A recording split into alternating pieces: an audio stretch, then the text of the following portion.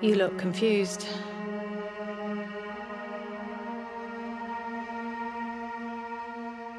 What were you expecting?